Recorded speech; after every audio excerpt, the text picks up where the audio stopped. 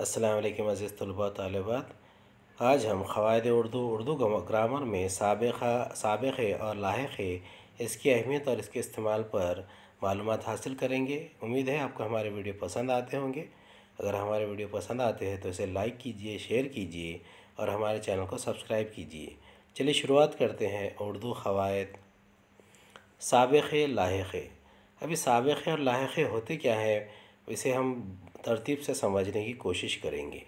اب نیچے کچھ الفاظ دیے گئے ہیں، اسے پڑھیں گے اور اس کی بناوٹ پر غور کریں گے۔ انجان ان گنت ان سنی بے کسی، بے باک بےہودہ با ادب، با شعور، با آسانی۔ بن بلایا، بلا اجازت۔ ان لفظوں کے دو حصے کیے جا سکتے ہیں۔ یعنی ان، جان۔ ان، گنت۔ ان سنی تو یہ ان الگ کر دیجیے، باقی کے ایک ایک لفظ الگ کر دیجیے دو الگ الگ حصے ہو جاتے ہیں۔ بے کسی، بے الگ کر دیجیے، کسی الگ کر دیجیے۔ بے باک بے ہودہ، بے با ادب، با شعور، با آسانی۔ بن بلایا، بلا اجازت۔ اب دیکھیں گے۔ ان جمع سنی، ان جنا، ان جمع سنی یعنی ان سنی۔ بے جمع باک یعنی بے باک با جمع ادب یعنی با ادب۔ بلا جمع اجازت یعنی بلا اجازت۔ اب اس کے بغیر بھی ہم اس کو سمجھ سکتے تھے۔ ان مثالوں میں لفظوں کے دوسرے حصے پورے معنی رکھتے ہیں، لیکن پہلے حصے کے معنی پورے نہیں۔ یہ دوسرے حصے سے مل کر ہی پورے لفظ کو با معنی بناتے ہیں۔ اس طرح بننے والے لفظوں کے پہلے حصے کو سابقہ کہتے ہیں۔ یعنی اس طرح بننے والے لفظوں کے کون سا حصہ؟ پہلا حصہ اسے کہتے ہیں سابقہ۔ یعنی اوپر کی مثالوں میں ان، بے، با، بلا، یہ سب کیا ہے؟ سابقے ہیں۔ چونکہ یہ اصل لفظ سے پہلے آتے ہیں، اس لیے انہیں سابقے کہا جاتا ہے۔ یہ کہاں آتے ہیں؟ اصل لفظ سے پہلے آتے ہیں۔ کم جمع زور یعنی کمزور، بد جمع تمیز یعنی بدتمیز، خوش جمع بو یعنی خوشبو اب ان مثالوں میں سابق کم، بد، خوش پورے معنی والے الفاظ ہیں۔ یعنی ضروری نہیں ہے کہ سابق بے، با وغیرہ کی طرح ادھورے لفظ ہو یعنی پورے معنی والے الفاظ بھی سابق ہو سکتے ہیں۔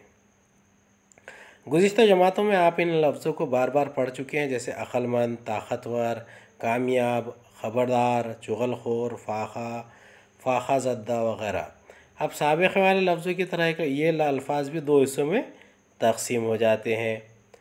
جیسے کہ عقل جمع مند، عقل مند، طاقت جمع ور یعنی طاقتور، کام جمع یاب یعنی کامیاب خبر جمع دار یعنی خبردار، چغل جمع خور یعنی چغل خور فاقہ جمع زدہ یعنی فاقہ زدہ۔ اب آپ دیکھ رہے ہیں کہ ان لفظوں کے پہلے حصے میں آنے والے الفاظ پورے معنی رکھتے ہیں، جبکہ دوسرے حصے میں آنے والے الفاظ تقریباً بے معنی ہیں۔ دوسرے حصوں میں آنے والے ایسے ادھورے معنی والے لفظ لفظ کو لاحقہ کہتے ہیں۔ یعنی دوسرے حصے میں آنے والے ادھورے معنی والے لفظ کو لاحقہ کہتے ہیں۔ اوپر کی مثالوں میں مند، ور، یاب، دار، خور اور زدہ لاحقے ہیں۔ چونکہ یہ اصل لفظوں کے بعد آتے ہیں، اس لیے انہیں لاحقے کہا جاتا ہے۔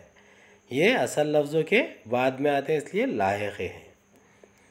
اب یہاں پر ایک مثال دی گئی ہے زیر کے لاحقوں سے پہلے لفظوں کا اضافہ کر کے نئے الفاظ بنائیے۔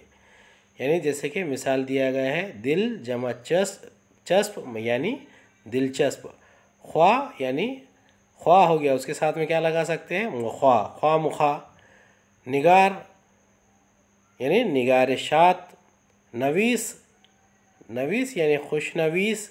اب یہاں پر آپ سابقہ بھی لگا سکتے ہیں، خوش نویس۔ اس کے بعد دان، پاندان اغالدان اس طریقے سے۔ نما یعنی فلک نما، اس طریقے سے لگا سکتے ہیں۔ اگلے ویڈیو میں آپ سے دوبارہ ملاقات ہوگی۔ تب تک کے لیے خدا حافظ۔